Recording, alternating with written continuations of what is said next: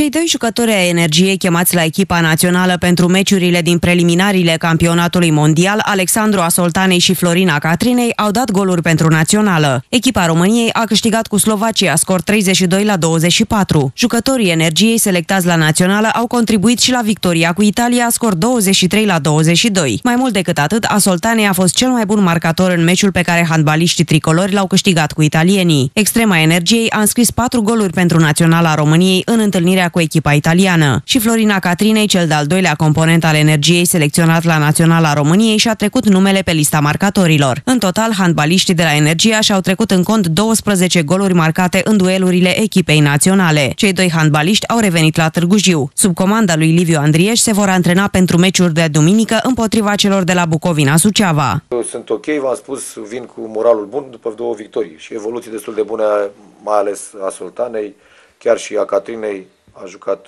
destul de, de mult la echipa națională și acesta este un câștig atât pentru ei cât și pentru noi ca echipă de club. Handbaliștii tricolori, antrenați de Eliodor Voica, fac parte din grupa a doua preliminară europeană alături de Italia, Slovacia și Cipru.